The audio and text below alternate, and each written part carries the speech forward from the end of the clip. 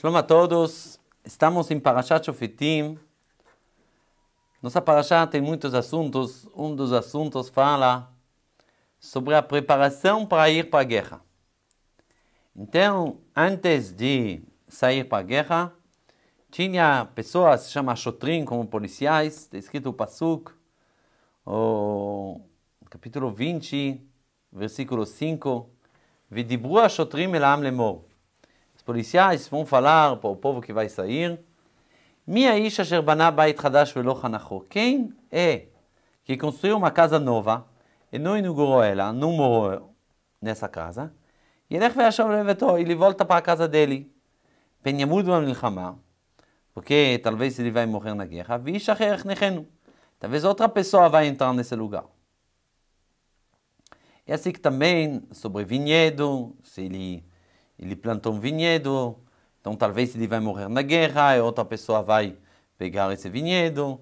Ou alguém que noivou, se noivou com uma mulher, então ele não pode ir para a guerra, porque talvez vai morrer na guerra e outra pessoa vai pegar essa mulher.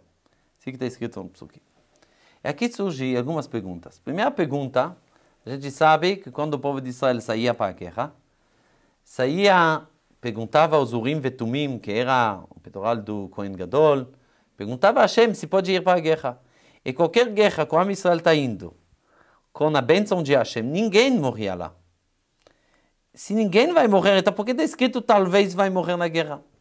Não vai morrer na guerra, não tem nenhuma, de, nenhum medo de morrer, de morrer da guerra. Por que você fala disso?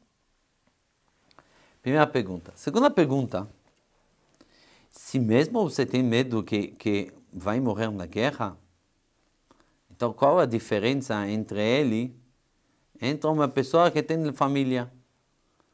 Uma pessoa que ainda tem família, tem filhos, tem tudo. E, talvez ainda não vai para a guerra mais do que essa pessoa que somente se noivou. Qual é o ponto aqui? E se tem medo que vai morrer na guerra, agora você me fala, ah, talvez outra pessoa vai pegar a casa, vai pegar o vinhedo e vai pegar a mulher. E aí, assim é o mundo. Uma pessoa faleceu, outra pessoa pega. Será que ele não queria que a mulher que ele noivou, se ele vai morrer na guerra, ele não quer que essa mulher vai casar? Por que, que não vai casar? Vai ficar sozinha? Para quê? Então, não dá para entender qual o ponto aqui. Qual o medo que a gente tem aqui? Talvez vai morrer na guerra, mas não vai morrer. Talvez outra pessoa vai pegar. O que está escrito aqui? Então, a verdade que a gente presta atenção nos psukim antes e depois, a gente vai ver.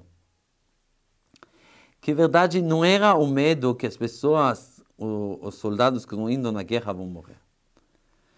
O outro, o problema aqui é quando alguém ele está indo na guerra com imaginação, com coisas que ele fica preocupado, com coisas que ele começou e tem medo que ele não vai fazer. E está imaginando, uau, tem alguém, outra pessoa que vai me pegar. Isso é o problema. O problema é de levar para a guerra pessoas que têm medo, pessoas que têm medo de morrer na guerra, pessoas que têm imaginação que talvez outra pessoa vai pegar a casa, o vinhedo a mulher. Isso pode afetar todo o exército e pode não dar certo. O problema é isso que está escrito para o 8, que os policiais vão falar, minha isha levav, quem tem medo. Então ele volta para casa. E não vai acabar de derreter o coração dos outros. Vai acabar de colocar esse medo sobre todos os outros. Então, o que a gente está vendo aqui? Que uma coisa incrível, que certeza que não vai morrer, mas ainda tem pessoas que têm medo por causa das imaginações deles.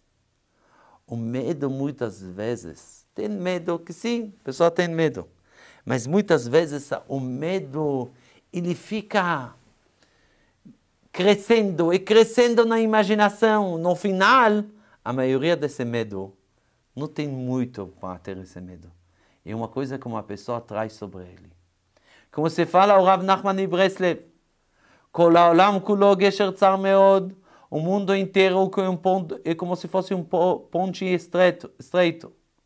Vaikar, é o mais importante, normalmente a gente canta Lo lefachet klal, não ter medo. Mas verdade, o que, que fala o Rav Nachman de Breslev?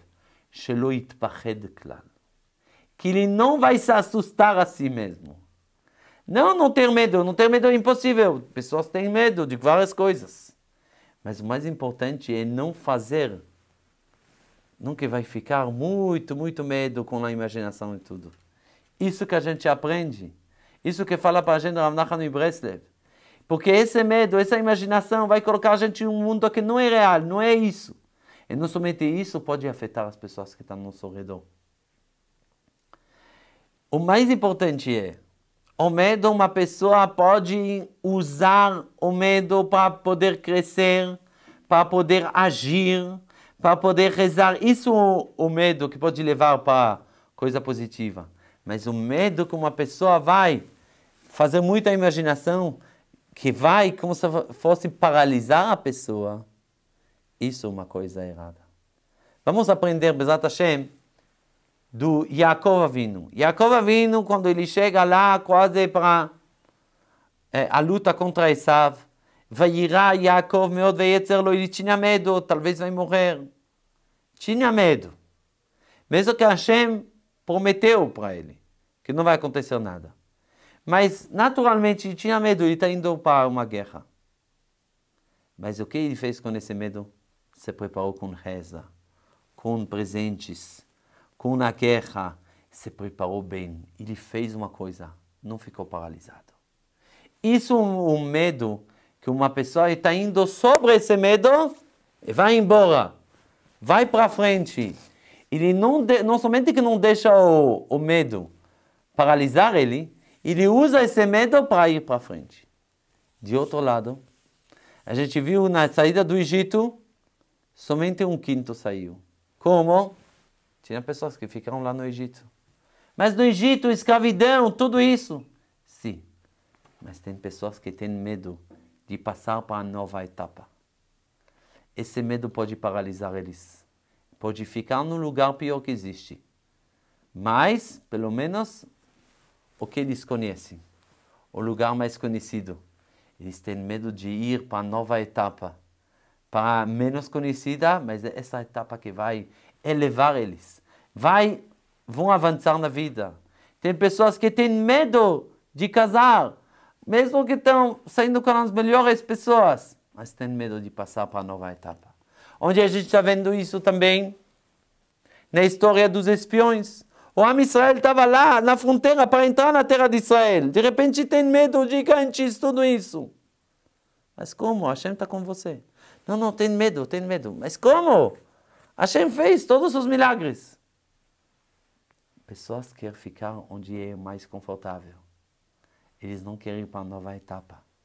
Volta aos espiões falar que a terra é maravilhosa, fala que tem gigantes. Ah, eles abraçam os gigantes. Por que abraçam os gigantes? em vez de abraçar que a terra é, é maravilhosa, porque eles preferem de ficar num lugar já conhecido, já melhor, tem medo de dar um passo para frente. Isso que a gente olha que esse medo pode deixar uma pessoa paralisada totalmente, e isso é errado. Conta uma vez tinha um rei que precisava julgar uma pessoa que fez um crime muito grave. Aí, no julgamento, o rei falou para essa pessoa: olha, você pode entrar na prisão, ficar lá até o final de sua vida. Ou você vai entrar, tem aqui uma porta muito dura, tudo isso, você vai entrar pela essa porta. O que que tem lá não posso te falar. A pessoa lá fala, ah, prefiro prisão. Então vai levar ele para a prisão no último momento, fala, mas o que que tem atrás dessa porta? O que que tem? Tem lá monstros? Tem lá o quê? O rei fala, atrás dessa porta tem a liberdade.